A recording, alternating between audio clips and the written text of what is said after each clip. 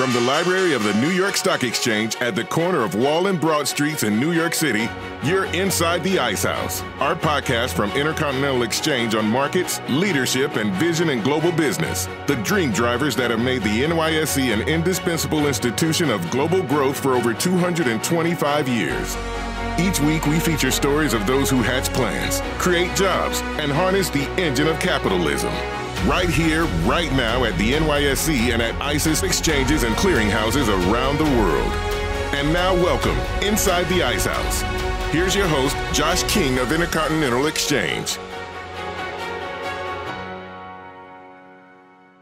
Sometimes we all need to ask for advice. For example, I'm constantly texting my home theater guru, Nathan Lodato, about whether it's finally time to upgrade to the new Bravia XR Z9J 8K HDR television from Sony. And that's NYSE ticker symbol S O N Y. Having a trusted expert on retainer, or at least on speed dial, puts you at ease and reinforces that you're making the right choice. And from time to time, businesses need advice too. They turn to consultants, firms like Bain, Boston Consulting Group, who provide an external voice to understand the problem you're facing and help improve organizational effectiveness. Reliance on external analysis and advice has always played a critical role in helping even the biggest organizations retool and reimagine their product set. BCG's website, for example, has this great case study of how Bed Bath and Beyond's new CEO, Mark Tritton, pivoted amid the pandemic to preserve liquidity and reduce debt, shrinking his physical footprint by permanently closing 200 stores and accelerating the company's move from multi channel to omni channel distribution. But beyond the big players in the consulting world, there's this wide range of smaller consultants who focus on specialized aspects of the management challenge. And here's where it really gets interesting. One such firm, Red Associates, a boutique shop with offices in New York and Denmark, argues that the traditional strategy tools really need to be amped up with other skills, combining anthropological, sociological, and ethnographic research to help its clients develop a new perspective and strategy for their businesses the managing partner in charge of Red, and the woman who oversees its fast growing financial services, insurance, and healthcare practices is Millie Arora. She runs the firm's day to day operations as the group has expanded and helped clients achieve organizational effectiveness. Over the nearly 300 episodes of this show, We've talked to founders, CEOs, CFOs, regulators, investors, attorneys, board members, marketers, advertisers, and just about every other expert in the industrial ecosystem. But for our first foray into the world of management consulting, our conversation with Millie Arora is coming up right after this. The transition to electronic trading is gaining support in fixed income markets, presenting opportunity and driving demand for data. At ICE, we're a leading provider for fixed income data and analytics. We offer a comprehensive fixed income execution solution via ICE Bonds, committed to execution quality, transparency, and information. We provide a wide range of platforms with deep liquidity pools that support multiple trading protocols. Our fixed income indices can be tailored to your investment strategy, powered by our data. Our ESG data offers increased transparency into fixed income markets. Access the ICE fixed income ecosystem, including the ICE Bonds execution platforms, evaluated pricing and analytics via ICE Fixed Income Select, by creating a single point of access for our execution platforms, customers can utilize a variety of trading protocols and manage risk. ICE supports your end to end fixed income workflow, increasing transparency, execution efficiency, and data access across the fixed income marketplace.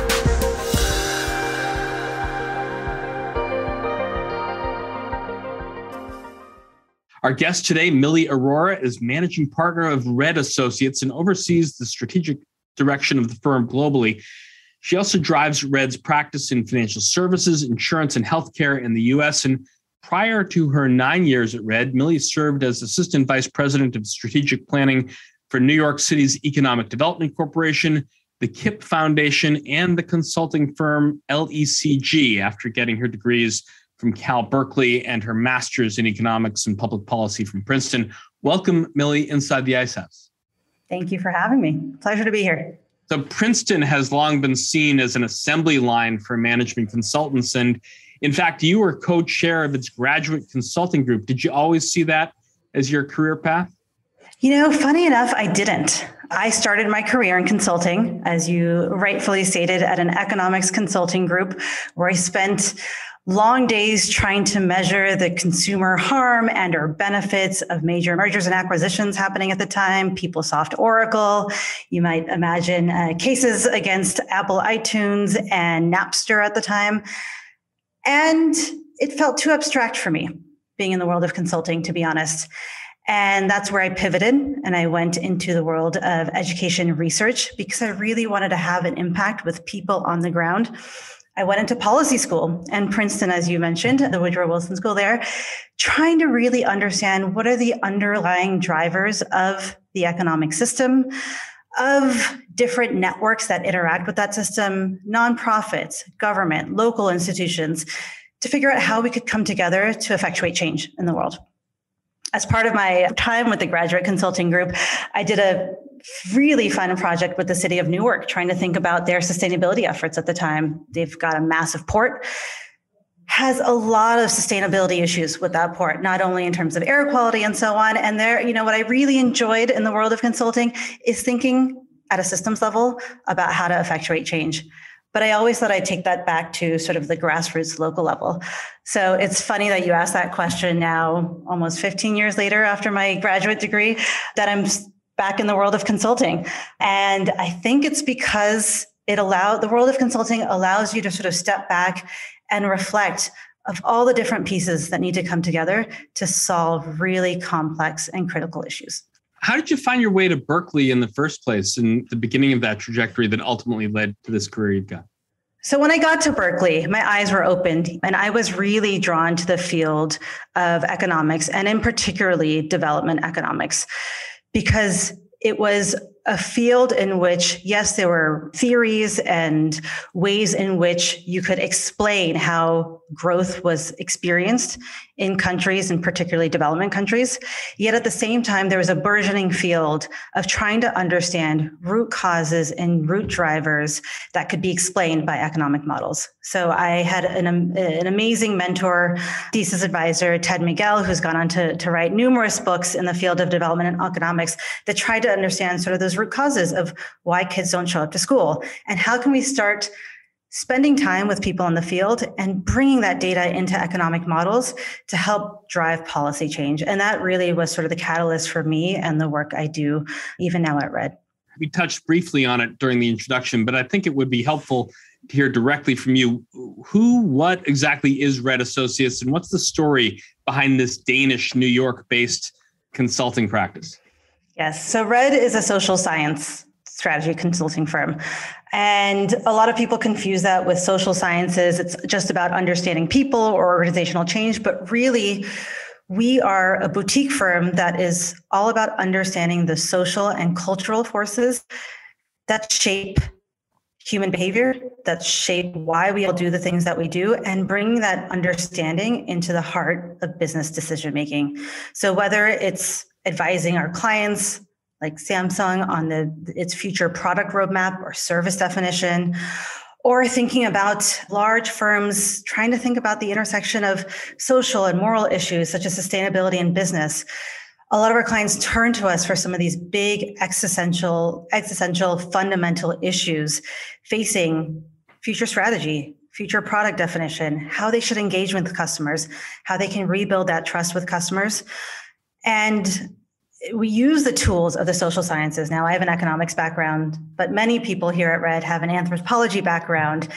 Art history, philosophy, sociology really, it's a myriad of different types of people that share a common interest in understanding people and culture and using that to advise CEOs and CMOs and major strategists in a lot of our firms. What's the Copenhagen angle? The Copenhagen Angles, our founders are from Copenhagen. So we got our footing 15, 16 years ago by a philosopher, economist, sociologist who back then it wasn't popular to really do this.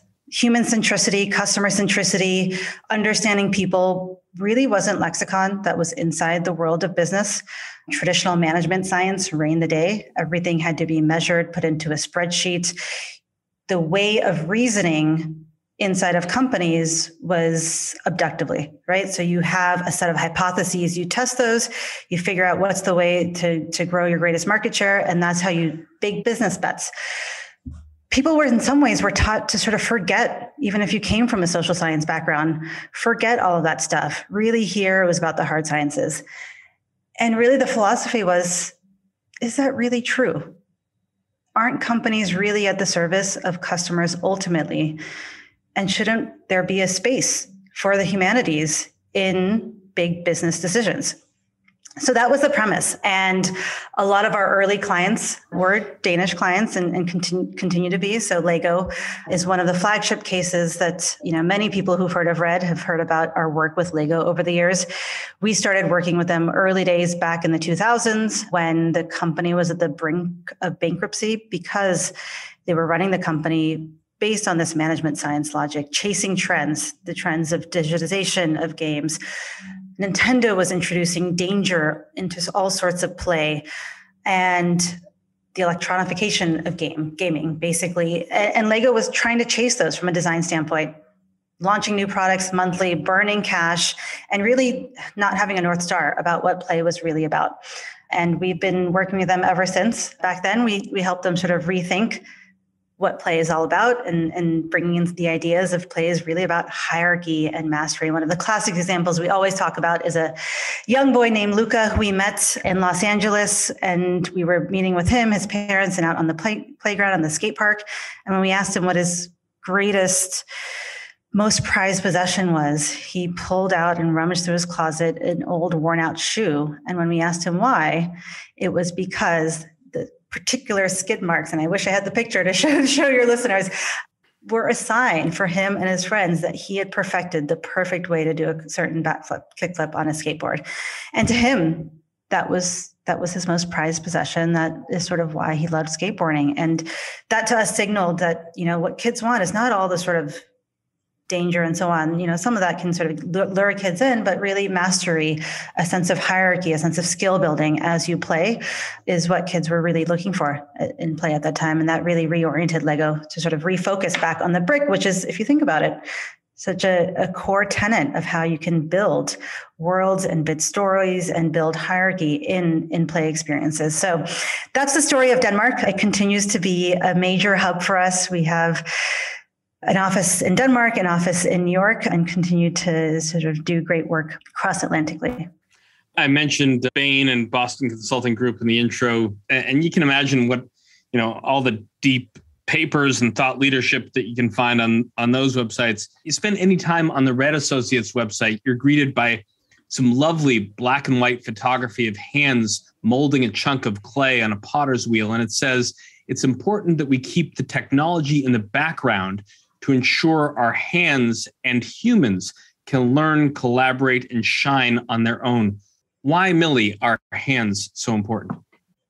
Because hands are people too. I mean, I think when you think about technology as fundamentally changing how we as human be- beings operate with each other, the social structures around us, and as if you're a major technology company that's thinking about the future of AR and VR and thinking about devices, whether that's smart devices in the home or devices for your hands or gloves or the future of displays in the home, if, uh, home in the workplace, as you're thinking about workplace or the future of work, you need to understand the way in which our bodies are a part of us.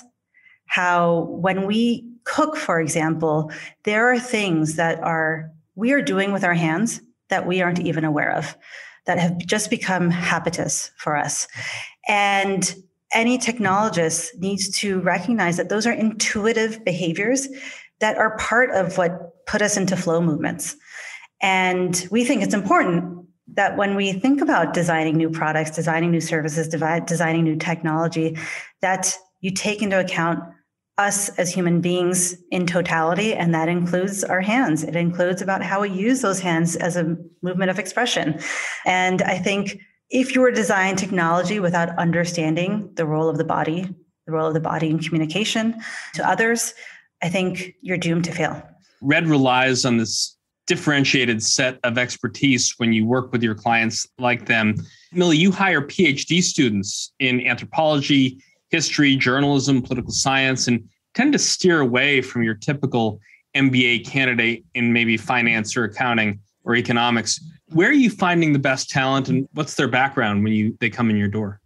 The common thread in people who we hire are people who are able to listen well, who have a deep empathy and curiosity in people, and who are really detail oriented, in particular in sort of the skills of observation. Being able to just sit back, observe, listen without rushing to judgment.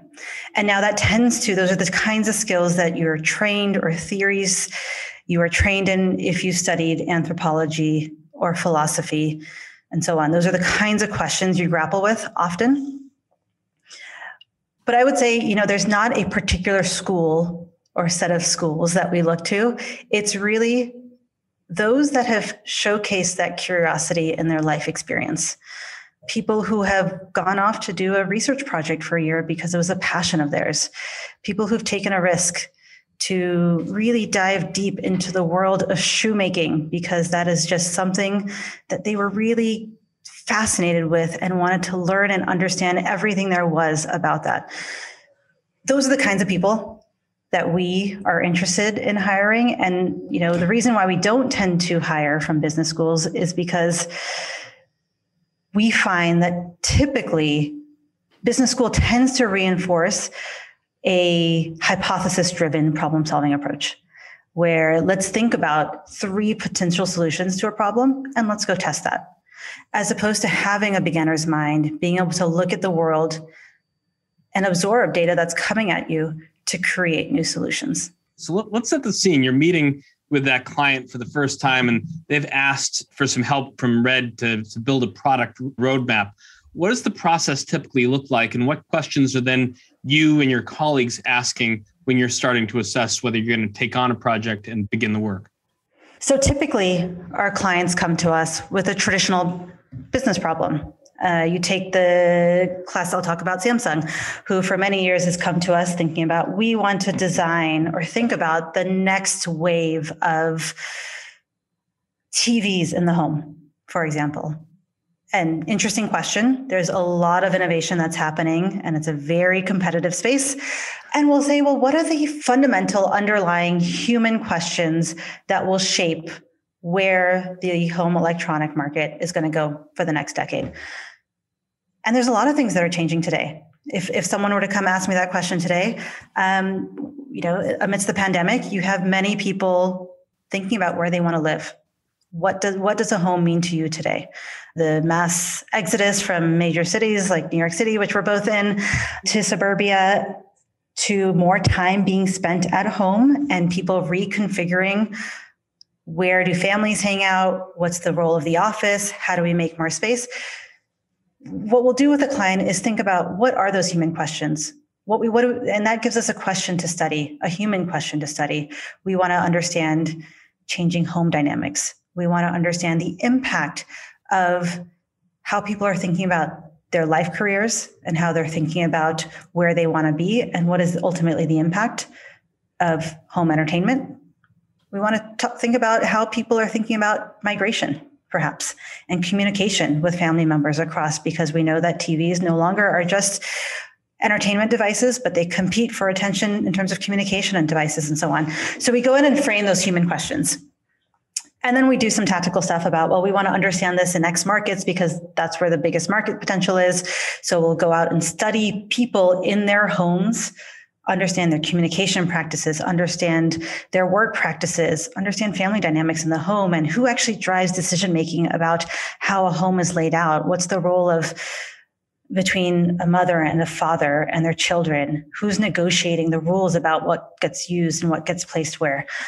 And we'll go out and study. Our team of researchers who we've hired will go out and spend time with people in their homes for days, if not weeks, to really observe again. I mean, you certainly have in your own life an interesting range of worlds and homes and communities that you've seen. This kid who grew up in Fullerton, California, you joined Red in 2013 as its COO after three years of service in the New York City Economic Development Corporation, height of the Mike Bloomberg years in New York. What did you take away from that New York City experience, and why did you decide that that was the time to move into Red and this sort of idea of consulting versus the one earlier in your career? To take the first part of that question, what did I learn from my time with under the Bloomberg administration? What I took away from that experience is the power of local government and the power of local communities to effectuate change. You know, I joined the Bloomberg administration post the 2008 financial crisis, right here where we're sitting. And it was a tough time. There was a lot of talent that was leaving the city, a lot of tax dollars was leaving the city, a lot of empty real estate. There was a question about what does the longevity of the New York City economy look like? How can we retain talent? How can we diversify the New York City tax base away just from financial services? How can we keep talent here and retrain them to the to the world of tech? And we got to do a lot of amazing, amazing initiatives that I think have long term impact.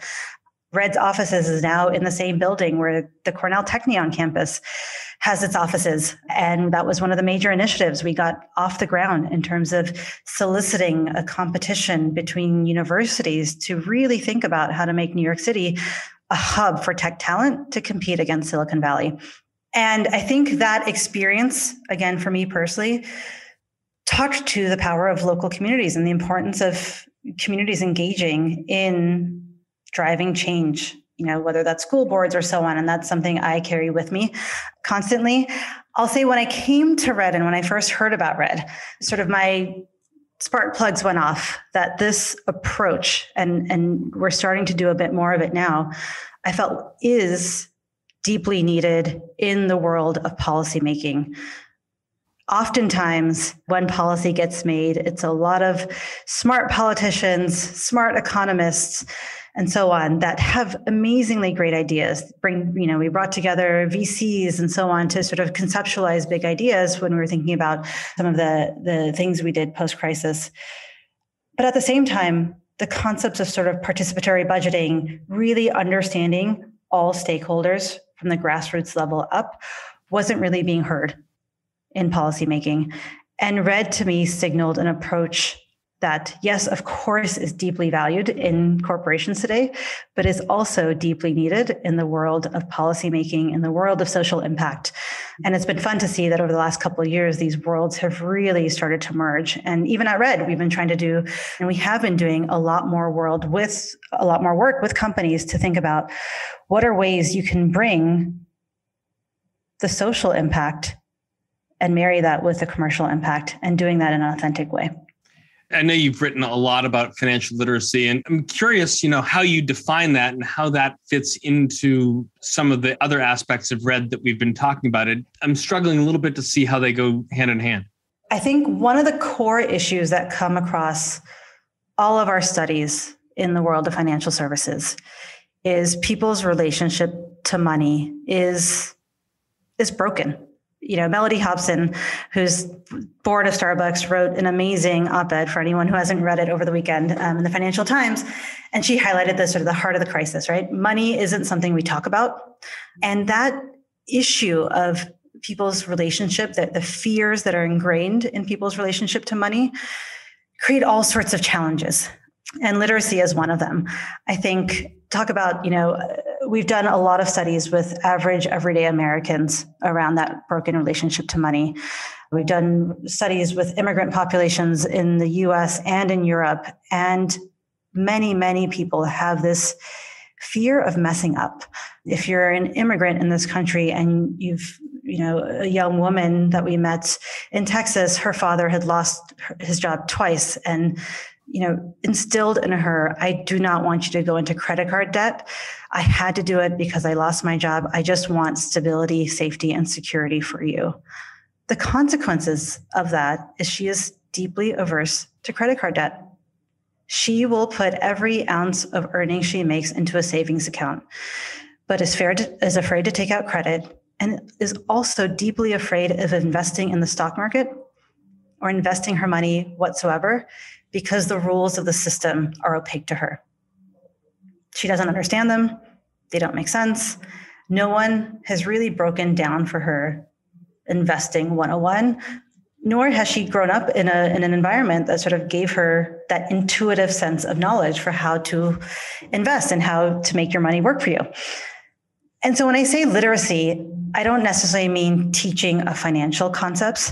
It's how can we better train and build the intuition in people so that they get comfortable investing. They get comfortable prioritizing long-term savings over short-term savings when it makes sense.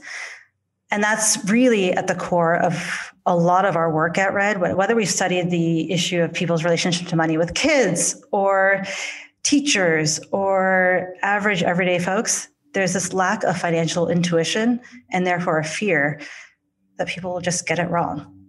You've written about the difference, I think, between what you call fast money and slow money. Can you explain what you mean by those concepts? Yeah, absolutely. You know, I think this stems from a lot of our work with a lot of banks who, you know, for many years have been focusing on how can we digitize money? How can we make things more seamless, more convenient, ready at hand, make payments faster, and, and all of those sorts of things. And what we found is those kinds of things are really important for fast money, things that are here and now again things like your checking account bill, billing account the pandemic clearly showcased that people are comfortable with not visiting a, bench, uh, a bank branch and doing a lot of sort of day-to-day financial matters digitally. But when it comes to slow money in our view that's money oriented to the future. Things like investing things like your pension your retirement savings life insurance all of those things that are oriented to the future people are a little bit lost they seek safety, they seek stability, they seek peace of mind, but they really struggle with how to connect decisions I'm making now with my fast money with how that's going to impact and connect to my slow money decisions. And why that's important is because we think when you design financial products or ways to, to provide financial advice, really sort of the design principles around that are, are quite different. With fast money, yes, those need to be digital. They need to be safe. They need to be secure. They need to be ready at hand and fast. All of those things really matter. But when it comes to slow money that's actually where people going back to this financial literacy point and intuition it's where people need to slow down a bit. They need to understand the steps piece by piece. If you think back to the, the the mortgage crisis and the housing crisis a lot of people signed up for a mortgage. It was easy. It was fast. They were able to get fast money it wasn't until things fell apart that they understood the consequences of what they had done. Yeah, felt embodied that experience of what it means to really sign up for something. And so we often argue that for slow money, you need to again introduce friction. And we saw a lot of people doing this, you know, having their own hacks, putting a credit card up on the top shelf so they wouldn't want to spend money or actually being happy that they forgot their password to the account that has their rainy day fund because they wouldn't tap into it or saving their sending their mother their emergency funds right? So that they couldn't access it even if for for frivolous purpose purchases. We saw a lot of people intru- you know intentionally introduce, introducing friction when it comes to slow money which sort of goes counter to what a lot of banks and financial services companies are doing. You and another colleague wrote in an American Banker article that advised companies to steer away from investing their resources in one all-in-one super app that would allow users to access their finances in one place. Why might it be a good moment to reevaluate that super app goal? The ambition of a super app as a standalone thing isn't necessarily flawed. I think the way in which people are designing for a super app is the underlying issue to solve if a super app is to be successful is to tap into what's the ultimate core social purpose these apps are providing. And I think the issue that we've seen with super apps is assuming that a single design ethos and or principle can be placed on something like payments with something like investing with something like teaching your kids financial literacy and we would argue that that's not true right there are you have to create spaces that allow people to interact with those different kinds of money differently because you may not want to check your Robinhood app every single day, but you might be tapping into that Venmo and wanting the confirmation that your money was sent seamlessly with ease to your babysitter on a daily basis. And so our argument is you're going to design the super app. Think about all the ways in which those connection points between fast and slow money are useful and design for that because that's what's going to be differentiated. You know, I think in our research, the people that have done this best is people who tap into a group of people who have a set shared common needs you know walmart is is building is is going deep into the world of financial services as they are in terms of health benefits and other things right so they're creating a world where they understand the walmart employee their customers and what are the ways in which we need to help better prepare them for financial insecurity moments perhaps benefits programs, helping them save more and be smart with sort of their paycheck. And they're being smart about what is the underlying thing we're trying to solve for, as opposed to just having more features for the sake of having more features and driving engagement.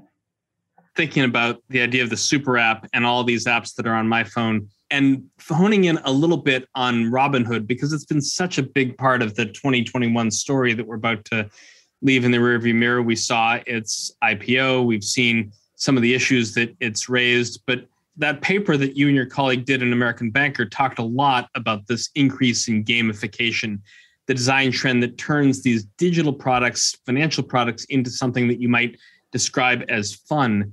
And it's been used commonly in these fast money applications and sometimes to the detriment of the user, as we've saw, seen with some of those Robinhood examples. But is there a value in the gamification of slow money? And is that possible? Absolutely. I think there's tremendous value in the gamification of slow money if done right. So, for example, I think when you think about the retirement and savings crisis we're in, half of this country doesn't have enough retirement savings. There's many young people today who don't really understand the steps for savings. And a lot of our research has shown it's because we're all human. We prioritize short term benefit over long term gain. How can we gamify? How can we make it fun and give people sort of the tangible rewards for medium to long term savings? You know, whether that's through visual features that give them points or rewards or affirmation with their friends or their community that says, okay, I set these goals and I'm going to have an accountability, accountability partner that keeps me on track with these goals.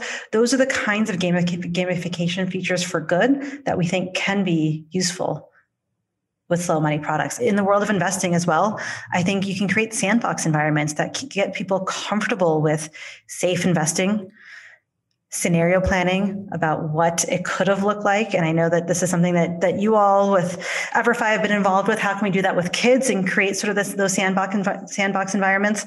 I think there's absolutely a world for doing that to to make slow money decisions less opaque also right How, i think it requires sort of a little bit more transparency less opaqueness breaking down the steps of how you save, when you save, what are the right moments to engage in, in different kinds of financial products when it comes to your slow money, so that people can engage with that now when it matters and take advantage of sort of the powers of compound interest.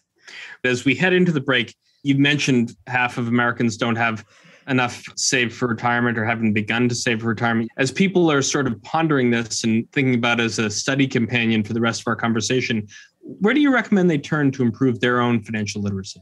you know, I'll tell you where people that we've met with are turning to.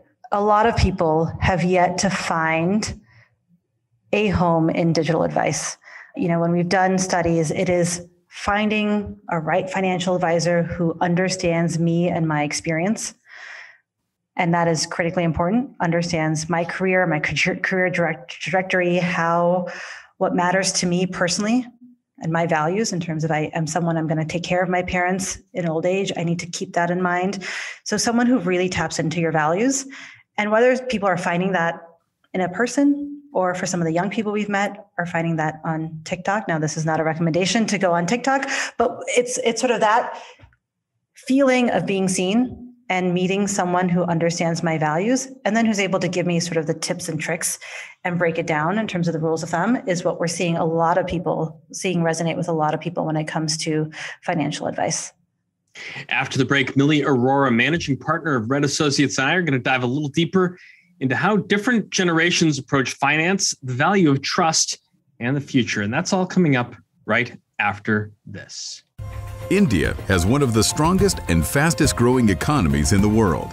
With a population of 1.4 billion, making energy secure, affordable, and sustainable is essential in supporting its growth. In response, the Indian government aims to diversify its energy mix, increasing its natural gas consumption to 15% by 2030. Efficient to transport, liquefied natural gas is critical in supporting countries with developing infrastructure. ICE's West India Marker LNG futures contract complements our global natural gas complex, providing essential risk management as demand for liquefied natural gas in India and the Middle East grows. Welcome back. Before the break, Millie Arora, the managing partner of ReD Associates, and I were discussing her career, her team at ReD Associates, and the value of the social sciences in understanding and describing the world. Millie, on a recent Cheddar appearance, you spoke about how different generations interact with money differently based on a study completed by ReD. Can you walk us through some of the findings behind that research? And does it mean that financial services need to change their approach to all these apps that I have and how they market to a 27 year old or a 21 year old? I would argue that you know the work that we did uh, on that foundational study with Gen Z that you're referring to now a couple years ago, we're seeing a lot of those findings play out across the general population, and I would say young people are very pragmatic when it comes to their money and very deliberate when it comes to making decisions about their money.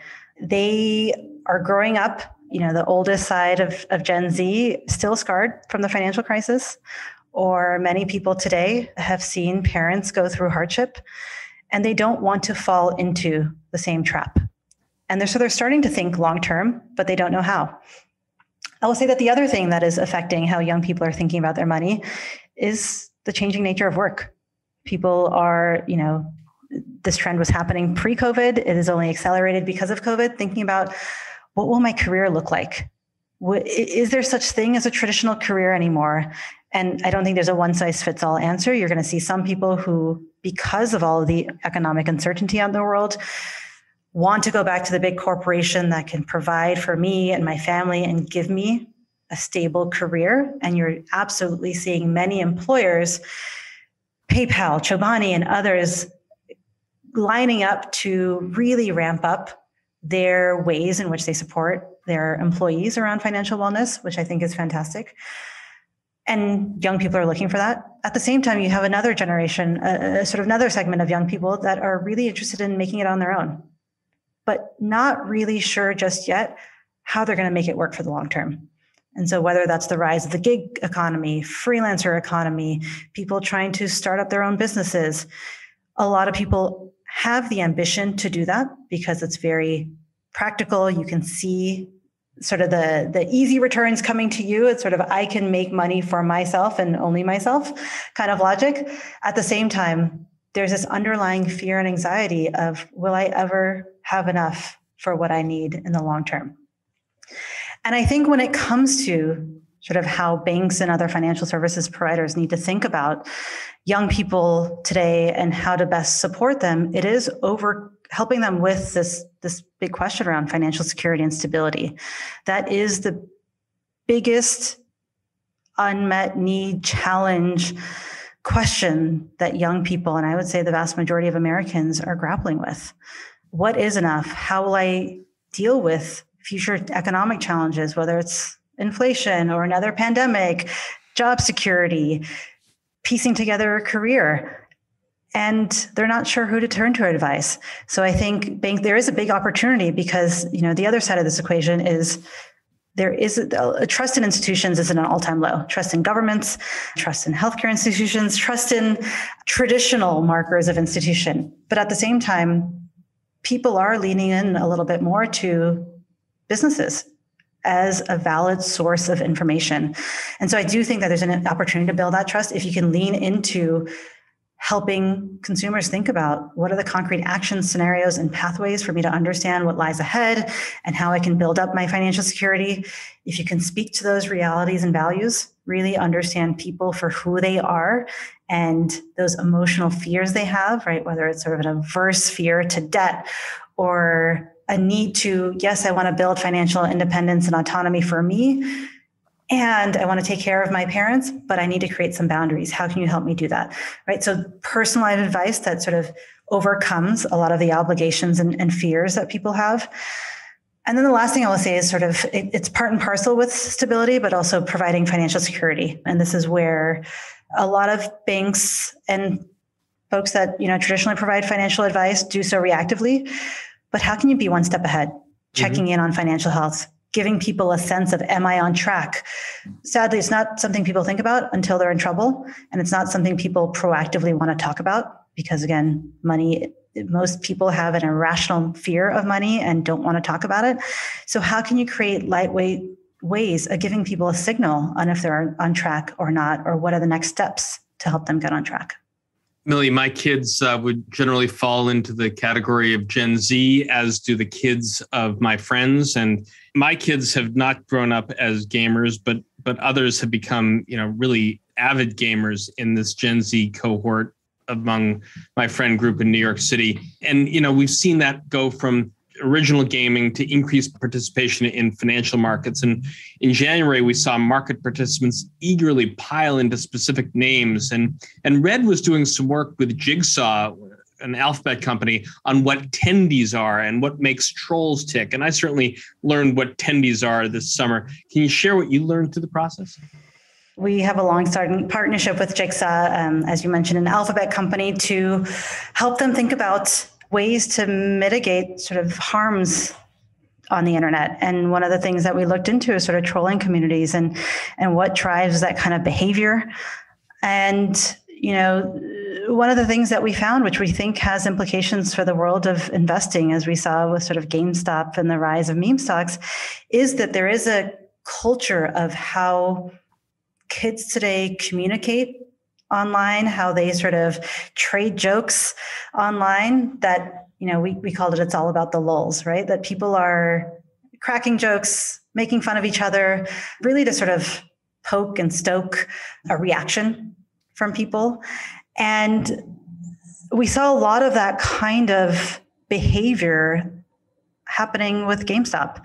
And whether it's sort of if you looked at the Reddit forums and so on, it was really people who had grown up on these gaming forums translating that to the world of investing. And so you know for us it's it's this call to not just the tech firms that need to be thinking about this but how are the modes and norms of interactions in online games even if it's sort of in a fringe group how is that going to go mainstream? And what does that mean for financial services companies or other brands around how do you mitigate for that? How do you make sure real world harm doesn't happen because the group dynamics are the way that sort of that's how momentum is built. We've seen public trust, Millie, in institutions come to an all time low in recent years, even before the pandemic. The Pew Research Center reported earlier that there was really little change in public trust in government, but that people still believe that government has a responsibility to provide support and services for all Americans. How does this impact how people engage with money and financial institutions, you think? I think that the stark reality that we're seeing is people aren't looking to traditional sources for advice any longer. They're trying to piece it together themselves. I mentioned the, the rise of sort of TikTok and financial influencers. In many of our studies, we see people turning, young people in particular, digitally savvy young people turning to finfluencers who look like them, who can speak to their life story because it's easy, it's accessible, it's engaging. There are clear next steps for what I need to do when it comes to savings. It makes the opaque rules of the financial industry clearer to them.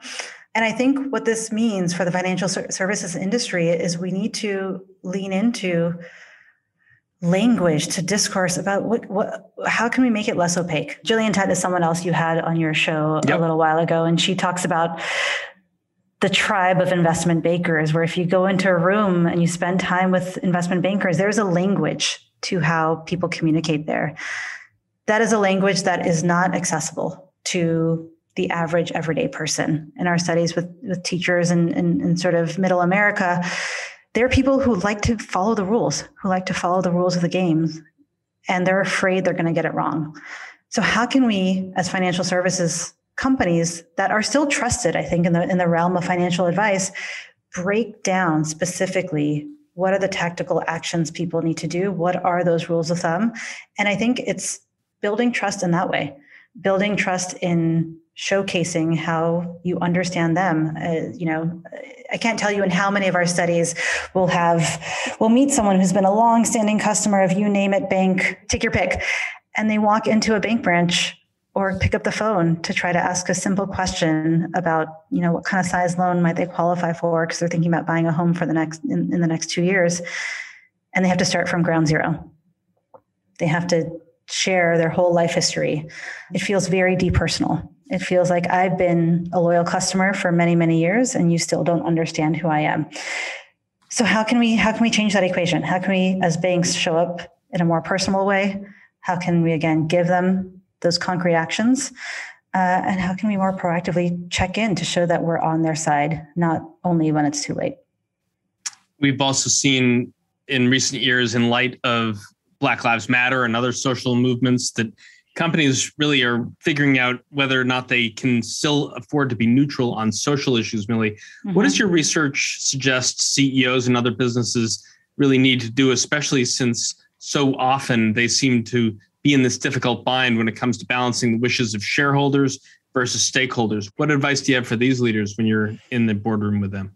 I would say that you know making a positive impact on society and that desire to make a positive impact on society isn't something that's not necessarily new, but for the most part, these activities has have lived out of sort of the core business, right? The, you know, they've either, either lived in CSR groups and so on. And I think what's new is that their CEOs are asking the the really difficult questions about how can we be a force for good and leverage that force for good as a competitive advantage vis-a-vis our peers and i think our response to a lot of the ceos that we work with is you need to do it with a thought through sincere authentic intent and a serious look at what are the key pillars underneath sort of the movements that your customers care about and, and, and respond to that, right? So it's not enough to sort of do some, do some philanthropic initiatives on the side. If you don't look about, look at sort of if core sustainability is what you're after, how do you do that in the heart of the business? So I think we really think there's an opportunity to understand it holistically in terms of let's look at your customers. What do they care about? What why are certain causes important for the, the groups of customers you serve versus others? Let's look at you, your employer base, which is another important stakeholder in terms of thinking about the purpose that motivates your employees. And so our advice to, to CEOs is to not rush into any one thing just to say you're doing one thing too many companies have been attacked for greenwashing, for all sorts of things that it's just, we want to do, invest in ESG and sustainability, but really it's not fundamental to how we think about the core business. If you were going to make a massive bet, think about it holistically. Holistically, think about what you as a leadership believes in. Think about how it impacts your employer employees, and also think about what are the commercial underlying drivers around sort of your core customers and how they engage with you and how fundamentally making this bet around social impact sustainability whatever cause you choose choose will make it a differentiator for you as a brand? Reflecting on where we are right now in terms of the holidays and looking forward to the next year you and several colleagues partnered and wrote an article for slate about how to talk to qanon loved ones during thanksgiving. And well, this episode is going to be released in early 2022. There's a lot of advice in that article that's timeless. How do social scientists approach engaging with people who hold different ideas like this? And what led you to write the piece? I think there's a lot of just general life lessons for how, in today's society, with increased polarization, people with different views, how we can engage with people who disagree with us.